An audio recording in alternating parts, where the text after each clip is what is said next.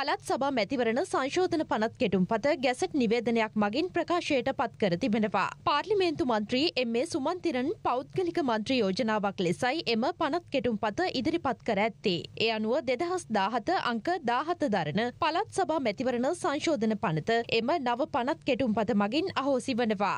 එම පනත් කෙටුම්පත පාර්ලිමේන්තුවට ඉදිරිපත් කර සම්මත වූහොත් පැරණි චන්ද ක්‍රමයට පළත් සභා මැතිවරණය පැවැත්වීමටද අවස්ථාව හිමිවනවා.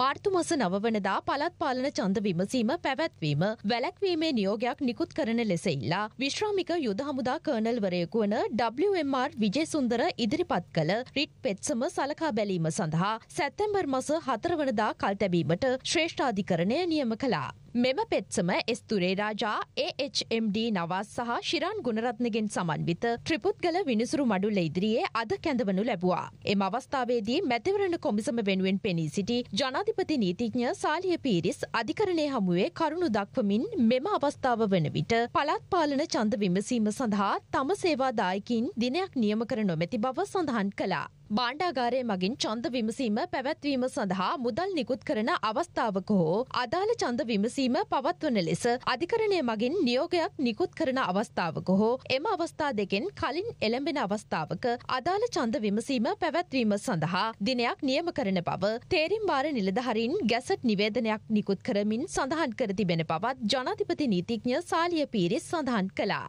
අදාළ පෙත්සම විභාග කිරීම සඳහා නොතීසි නිකුත් කිරීම සම්බන්ධයෙන් ජනාධිපති නීතිඥ සාලිය පීරිස් ඉකුත් නඩුදිනේදී මූලික විරෝධතා මතු කර තිබුණා. මුදල් අමාත්‍යංශ ලේකම්වරයා වෙනුවෙන් පෙනී සිටි අතිරේක සොලිස්ට ජනරාල් නෙරින් පුල්ලේ අධිකරණය හමුවේ කරුණු දක්වමින් රටේ වත්මන් ආර්ථික තත්ත්වය පිළිබඳ විස්තර ඇතුළත් දිවුරුම් ප්‍රකාශයක් තම සේවාදායකයා ශ්‍රේෂ්ඨාධිකරණය හමුවේ ගොනු කර තිබෙන බව සඳහන් කළා. කෙසේ වෙතත් පෙත් සම්කාර කර්නල්වරයා වෙනුවෙන් පෙනී සිටි ජනාධිපති නීතිඥ ෆයිස් මුස්තාපා කියා සිටියේ මෙම පෙත්සම ඉදිරි දිනයක කැඳවීම සඳහා දින නියම කරන ලෙසයි. ඒ අනුව පෙත්සම සලකා බැලීම සඳහා සැත්තැම්බර් මස හතරවනදා කැඳවන ලෙසත් අධිකරණය නියම කළා.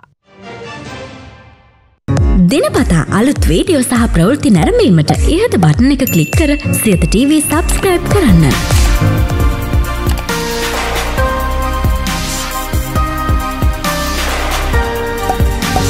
වීඩියෝ ගැන මුලින්ම දැනගන්න මෙම සීනුව කලික් කරන්න.